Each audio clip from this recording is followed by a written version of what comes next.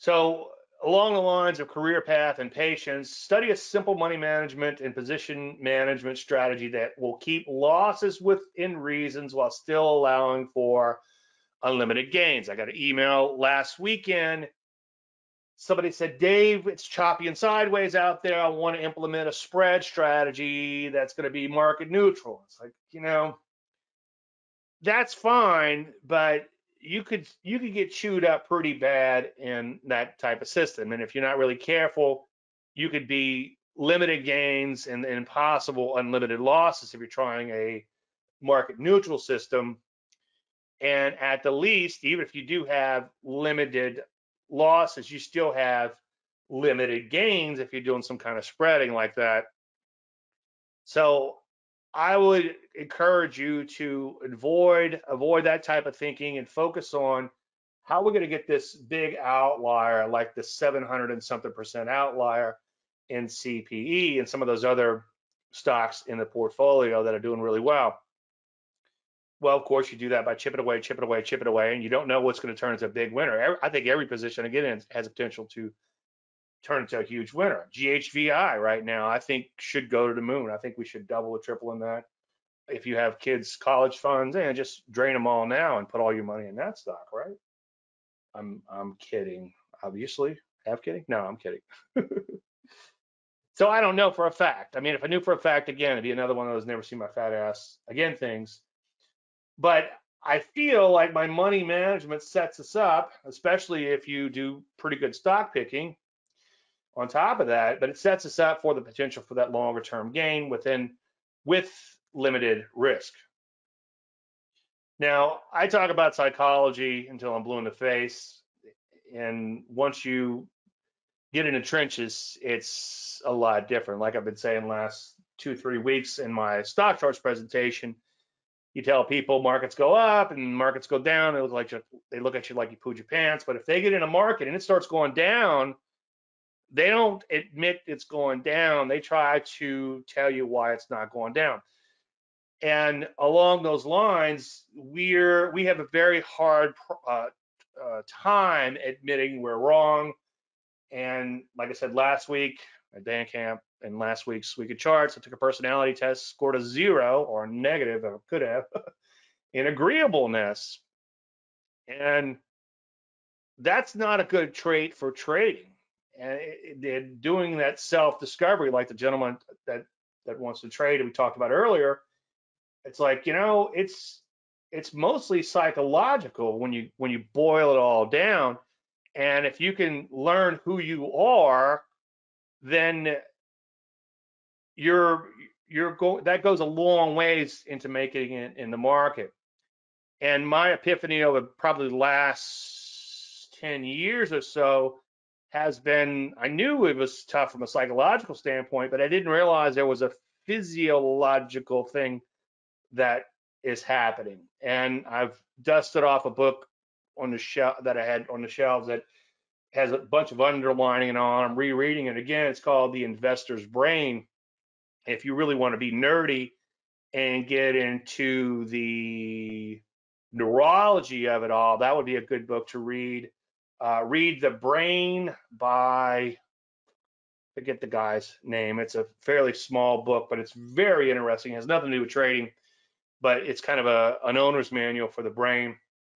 And then another book that comes to mind would be Curtis Faith, Trading from the Gut.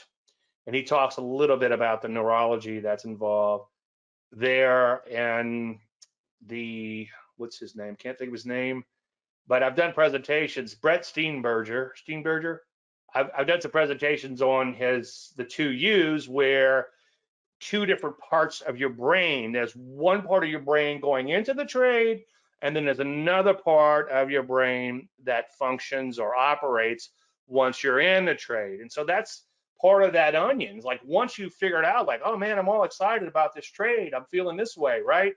Well, all of a sudden it goes from this side of your brain to that side of your brain, or vice versa, once you get into the trade. And if you study more neurology, it's like your panic is down here in your primitive part of your brain, and then your fears a little bit further up. And then it helps to, to learn these things again without going too far. I would say paper trade until successful. I've never met an unsuccessful paper trader. Somebody pointed out that well nowadays with with tracking as good as it is, if you're using a trading simulator, you'll probably bump into someone who's unsuccessful as a as a paper trader. I have bumped into one guy once, said he's, oh, I'm unsuccessful, so you know, ruin your thing. I was like, well, how long have you been trading? Two weeks. I'm like, okay, well, that doesn't count. But even with simulators, so far I haven't ran into an unsuccessful paper trade. It's a lot harder to put real money on the line. Someone in my uh, on or my was a YouTube channel after one of my presentations. It might have been the Stock Charts YouTube channel after my Trading Simplified show.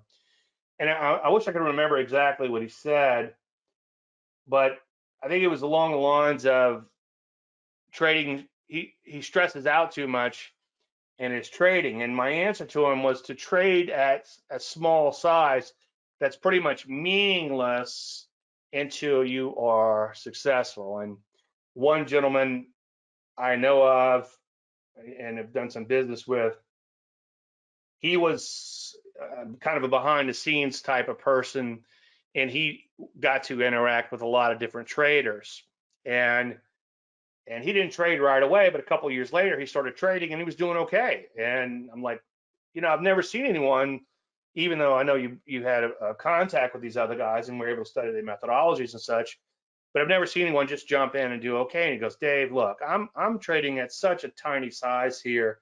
It's it's almost laughable but that's okay. He could build those reps at a small size and then go from there. And speaking of increasing your size, slowly increase your size until you reach the maximum of your money management strategy. Now, mine is 2%, and believe me, 2%, when I get hit at 2%, it hurts like a mother father, okay? 2% is a lot. And I know a few people in the Facebook group that are only comfortable with like 1%, and some people are working up to that that's fine. Just don't risk a quarter percent on this trade and 2% on this trade and 1% on that trade. Just be consistent. Start small again, but very small risk, and then move slowly move to go with bigger and bigger exposure up to a 2% maximum.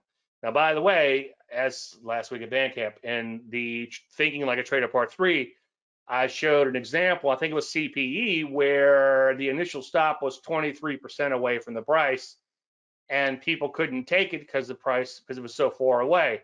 It was too wide of a stop for them to use. Well, all you have to do, I know easy said none, but all you have to do is punch it in the spreadsheet, which I'll give you if you go to davelandry.com slash members and click on member resources, and I'll see if I have a direct link that's not behind the firewall and put it in the post for those who weren't a member but download my tracking spreadsheet and put in the stop, let's say if it's three points away, four points away, or whatever, and then put in your account size and how much you want to risk, and then it'll calculate the number of shares.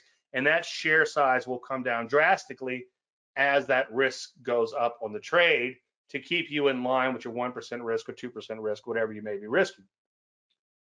I've done complete presentations before where I show that it's actually less riskier, believe it or not, to trade a more volatile stock but trade fewer shares than it is to trade a less volatile share, less volatile stock, because that means you're going to be putting on more shares. Okay. And not enough time to get into that tonight, but just trust me, once you see the, the math on that, you'll realize that it, it's just the opposite. It's a little counterintuitive of what you might think. And then here's the other thing the chance of that volatile stock moving so you can make money on it is a lot better than that non-volatile stock. And also something bad can and often will happen in a non-volatile stock. So you also have to give yourself time to learn and have you experienced a variety of conditions and I say this ad nauseum, but I'm thinking about one couple in, in particular always comes to mind they go in and print money or they went in and print money and then all of a sudden they quit a profitable business that I'm sure took them a long time to build because this trading thing is easy. But I might be seem like I'm picking on this this couple, but I see it happen all the time. People come in when things are going really well and they get this permanent income hypothesis and they'll think they think that it will always be that good. Have you experienced the print money phase where you feel like God? We all have, right? And usually you come everything comes crashing down soon thereafter. Have you gone through a phase where you couldn't hit the side of the barn? I, I can't imagine being a doctor, a lawyer, or automatic transmission mechanic for 20 something years and this going one day and all of a sudden you feel like a dumbass, okay? but trading is like that. You know, the, the guys in the rented jets and Lambos who are on their way to jail now, I would never be shot on Friday, but if they ripped off people, which they did, they deserve to go to jail. So anyway, I digress. But there are times where you can't hit the side of the barn. It's been choppy lately. The ETF trading that I'm trying to make my profit center, or one of my profit centers, kind of hitting this lately. Okay. And some days I feel like I can't hit the side of the barn. And, and that's why I'm working harder and harder on this research that we talk we've been talking about again lately. But it happens. Now, knock on wood, the momentum stuff has been doing really, really well. And I joked today, well, one of my uh, clients that I'm very friendly with, we we trade ideas quite often. It's like my uh, my trend trading, my core trend trading is financing my day trading addiction. You know, I was kind of half kidding, but there's some truth to that. Seems like because thank God the trend trading is going well, but the market does humble you quite a bit. And then the hard phase is where you lose, you lose, you lose, you win, you win, you win, you lose, you win, you lose, you win, you lose, you win. And it seems like you never make any money. I can't think of the guy's name, Gelber maybe. And I think it was in the first Market Wizards, and I'll verify that in post. But he said three months out of a year, you're hot. You're so hot, you just can't believe it. You can't sleep at night and three months out of the year you're cold. You're so cold you can't hit the side of the barn paraphrasing. And then the rest of the six months you grind it out. Win lose win lose lose lose lose lose win win and so on and so forth. So you have to go through all of these phases. You have to go through an an ugly bear market okay? You have to go through a phase where you get knocked out of all your positions